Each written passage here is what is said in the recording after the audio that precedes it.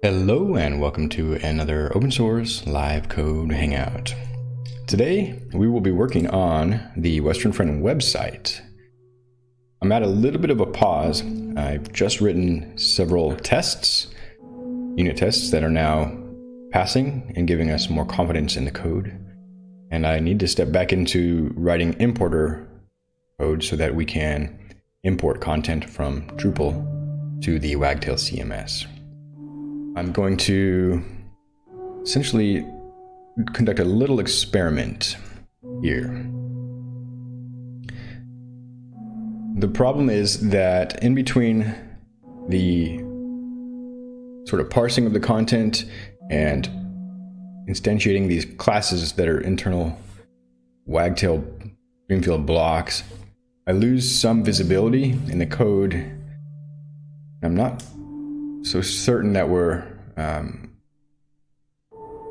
importing the content correctly. We may lose some some data, such as embedded video uh, images, like inlined images, for example, or paragraph text with pull quote. I want to have transparency that from parsing this uh, CSV file into at least the Python memory, we we're not losing anything so that I, I can inspect the data, run tests against it, make sure that all the strings basically match, like the URL of an image or paragraphs in a rich text field. From the CSV into Python memory as dictionaries or tuples, uh, basic primitives, uh, or perhaps some kind of um, data class that I'll define. We don't lose anything. We all the data comes into Python's memory. We're good up to that point. I want to have like 100% confidence uh, as well 90% confidence. As much as our tests can cover and uh, acknowledging that the data are somewhat diverse these are basically rich text uh, in blobs of html that can have varying structure and depth. I, so i have to perform a more comprehensive audit of the cms data to get all the edge cases out. But nonetheless, the things are visible. Then, once it's in Python memory as basic dictionaries or uh, instances of a data class, I can parse it into blocks, which is where I lose some visibility. At least I don't know how the wagtail block internals work to get a plain string representation out. I've tried, but couldn't figure out a way. This is an experiment take it or leave it. Uh, uh if if it doesn't succeed, then I'll just chalk it up to um, you know an attempt in a learning. But this one thing I hope to learn here is how to use these um, what are called design patterns, software design patterns that are essentially known um, patterns we find in a lot of code bases where we're repeating the same process or have similar structures and that these now have names that we can refer to them as, such as factory or adapter. You know, even in real life, we have factories that make things like widgets or forks or, you know, factories that you put raw materials in and you get something out. So that's a concept that's commonly known, and it, we actually use that all throughout our software. Another pattern is an adapter where you have one interface and a tool that, uh, two interfaces basically and you need to plug in information from one to another. You know, you've you, if you've traveled and you've tried to plug in electronics in different countries, uh, you might have needed an adapter for your um, your wall plugs. Uh, so this is also a common pattern in reality, and as such, it has parallels in software design. This is so these design patterns are giving us names of things that are common conventions. I'm going to try this experiment. And naming things is important. So I want to have these not only to name them to communicate to my future self or other people what I'm trying to do, but also to help me think about the what I'm trying to do a little bit more uh, accurately. So I'm in a branch we're going to refactor to design patterns. I should say this is all uh, sort of spawned by a, a prompt, a GPT-4 conversation that I've had. I, I wanted an intermediate representation of this data that I could run tests against. I didn't know. That seems like that's a big wordy phrase. I didn't quite know if there was a more succinct way of saying intermediate representation. Uh, turns out there's probably not, or at least the way I described it didn't give GPT-4 much to go with. So essentially my intermediate representation is we've got raw HTML strings. We're to have some kind of form like dictionaries in between before instantiating classes where again we lose that visibility.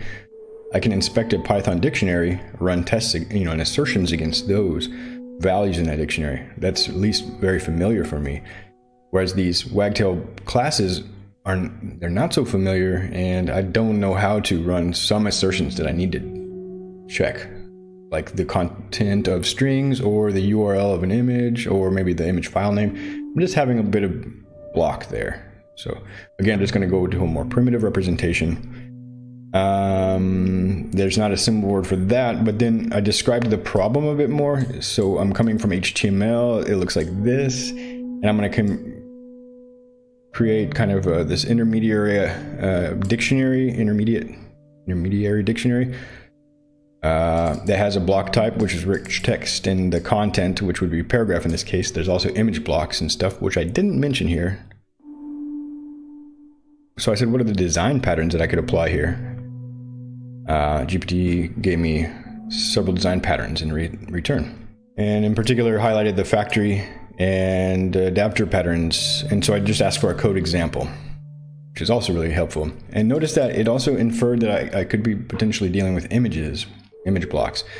Um, so either it has accessed a previous um, conversation where I've been going through these kind of wagtail um, refactoring. I'm looking for the conversation. I don't see it, uh, but uh, here it is. Nonetheless, um, or if it just knows enough about HTML that it knows images are common. So here we have some pseudocode, and I'll just be following this more or less today. And it has even um,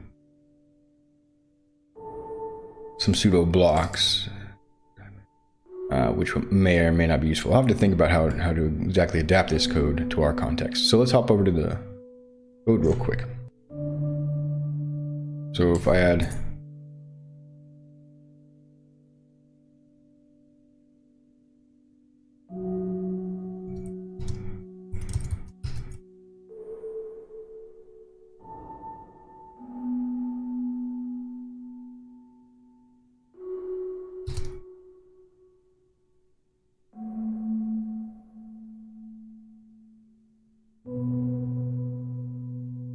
And if I open up this other, so one thing I was watching a video on using Copilot, if you open up another sort of file in memory, I think Copilot, it gives Copilot a hint that you're kind of aiming at this.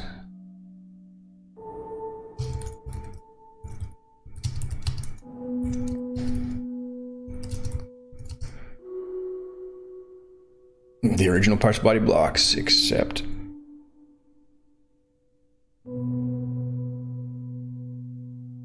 a list of generic block objects. Okay, this is really interesting. Placeholder gathering successive items or text value. Okay, we're just going to step through it. Suggesting I use blank spaces in a way by not outputting. Here, I think it's suggesting I use a blank space. Try. Type here. Space for vitamin soup find all.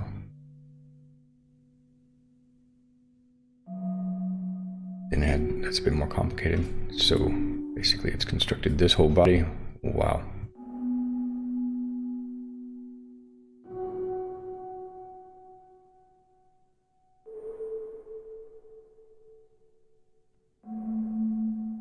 And it's basically done the work here, so we'll need to import this extract pull quotes, which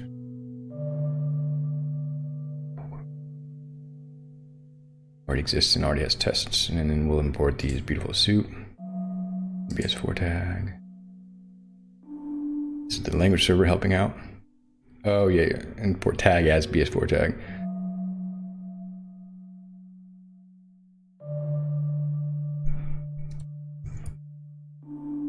I think since tag is the only thing, only place we're using that, let's just use tag. logger, I don't have a logger, okay. we'll just define a logger. Mm, import logging.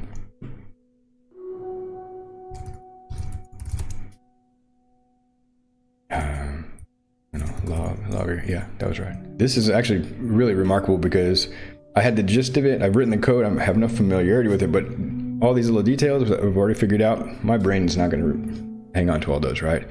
So the, the key is I just opened up the file with the existing logic that we need to change just slightly.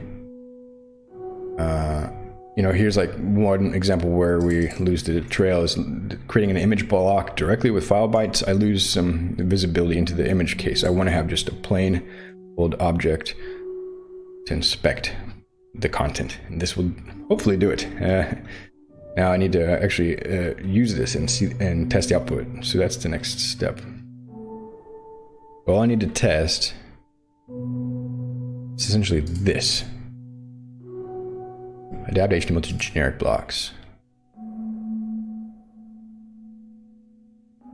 That's it.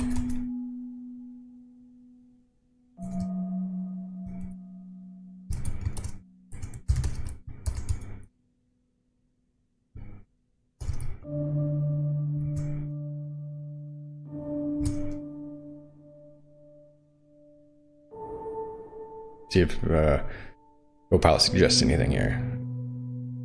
HTML. Oh, it did. It takes a little bit because this is a much more complicated test suite.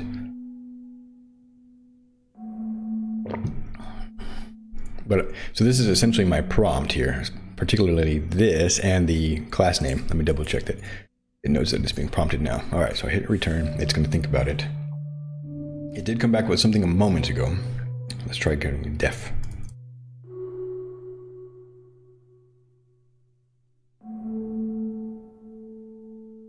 All right, so now it's coming back with some string. Wow. All right. This looks like it's going to go on. All right.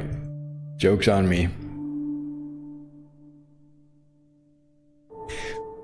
We only need one of these for right now.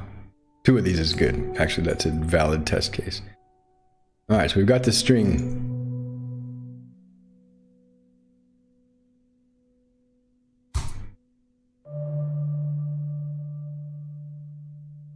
We should have one generic block. Yeah. That's right.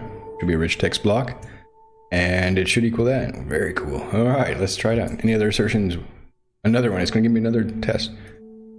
Uh, yeah, heck, I'll go with that.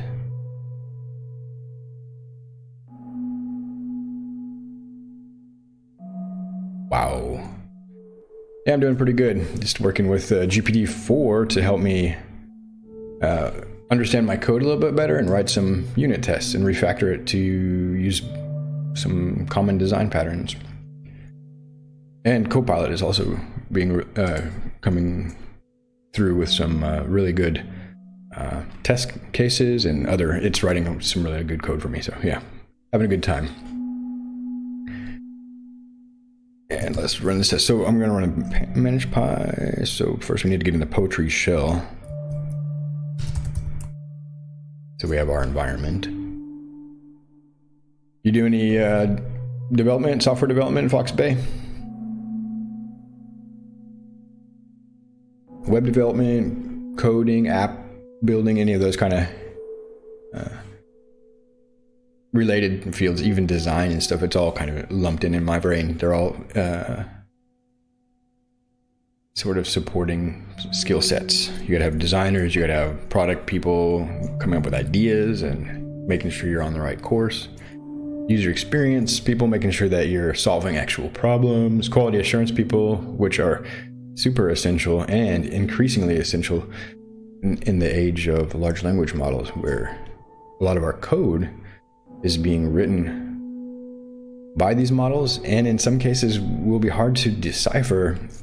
I think in those cases we're going to be moving more towards um, saying the inputs and outputs, sort of the defining the specification, but not the implementation. So the perspective of the engineer, kind of we step back, we say, given this input, I expect this output, make that happen writing, prompt engineering, some other skills. Okay, so how do we run this? Python, manage py, test. Let's see if it picks up this new test. Assert, uh, in fact, I should assert fails or assert false and something.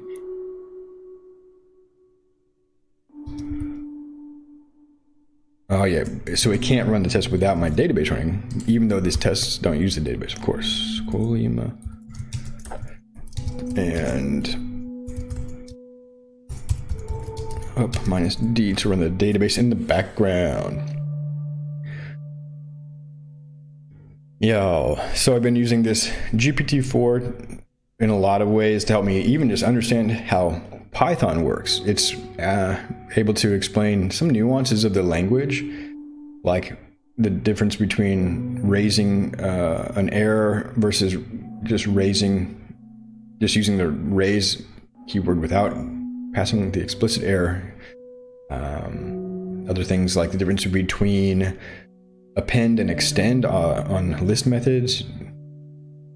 So it's kind of like a personal coding assistant how to use design patterns. We've also been exploring a bit of these generative AI, um, you'd say, I would say image tools right now, but they're also becoming more uh, prevalent for animations and videos as well as music. Yeah, kind of exploring this domain in a practical way.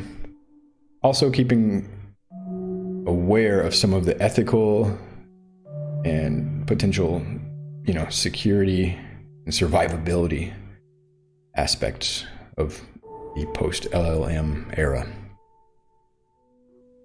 I just need to write my test against that. Make sure to drink your water. Oh no, a test.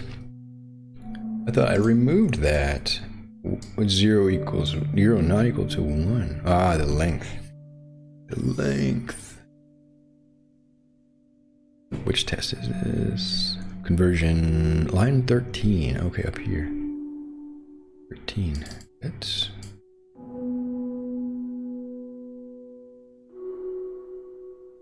strange. Let's go ahead and debug this one. At this point, what does generic blocks look like? Thanks to help from Stack Overflow, I was able to get this Python debugging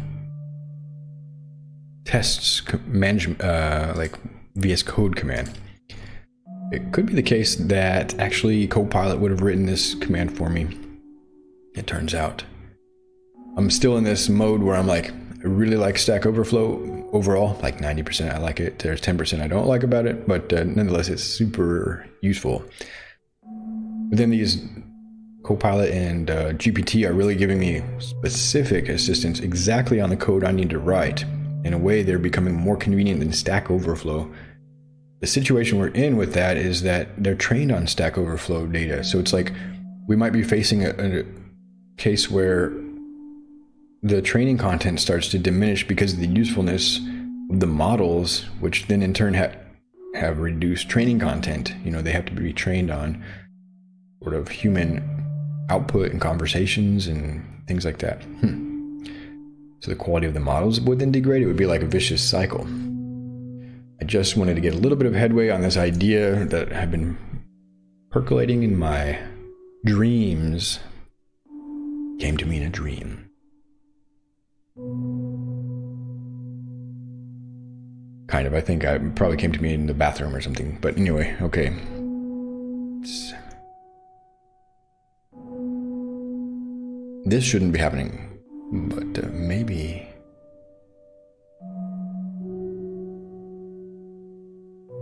That's the problem. Uh, then we're just checking the image or pull quote else.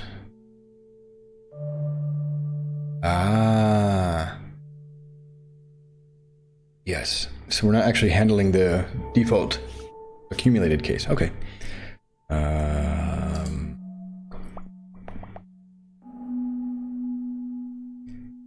that's gonna be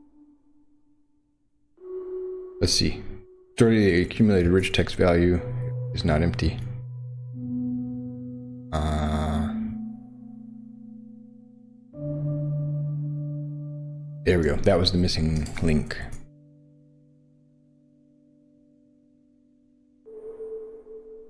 again, just Copilot writing that. I human in the loop here have to like make sure code's behaving how we expect it. That's why we're writing unit tests that were also written by Copilot. But then I'm needing to read and understand the code. So I don't think.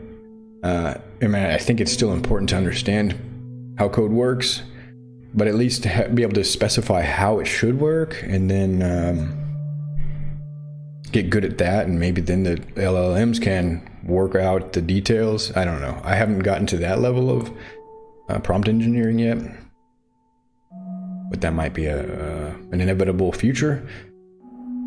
So, in other words, I think writing and specification is an increasingly important skill, and that means there's a lot more people who now can, in a way, program computers who are just good at writing in whatever language. It doesn't have to be English. That's another important thing. It can be any natural language. All right. I'm impatient. Uh, yeah. And just run that. Found two tests. Very fast. Simple test. Don't need a database. Run it. They passed. Okay, good. That's a good stopping point. This is nice. I like that. But actually, it didn't work. Let me think. What am I thinking? Hmm. So we'll leave that. Put that back to go. But that would be nice, I mean, to be able to pass in the test suite to run. Okay, let me just summarize real quick. Hello, and thanks for checking out this live stream. In today's session, we were able to write some new conversion code using design patterns with the aim of increasing the visibility of the content migration scripts. I wanted to parse these CSV files with HTML blobs, get them into Python memory, and make sure everything came over that boundary from CSV into Python by creating very simple data class that just has uh, a mapping basically of wagtail block types, which is our destination, and the content, which should basically be the exact HTML strings no related parsing here, just splitting out particular types. Most of our HTML is rich text and consists of paragraphs and span tags, but there are some special cases like pull quotes and images where we need to separate those out into bespoke wagtail blocks. Having this visibility helps me be confident that when we're parsing it, we're not losing any important content. So it kind of occurred to me maybe I could use design patterns and the assistance of GPT-4 to refactor my Python code to be more transparent and testable, which we've done today, uh, also with the assistance of Copilot.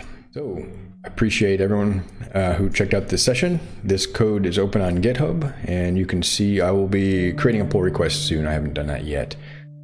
Anyway, it was nice hanging out with everybody. Fox Bay, and uh, thanks for chatting. And Thank you to World Cup and Yes Sir program and Fox Bay for following. It's nice to uh, see familiar faces or at least names in the chat. I hope you're doing well and have a great day.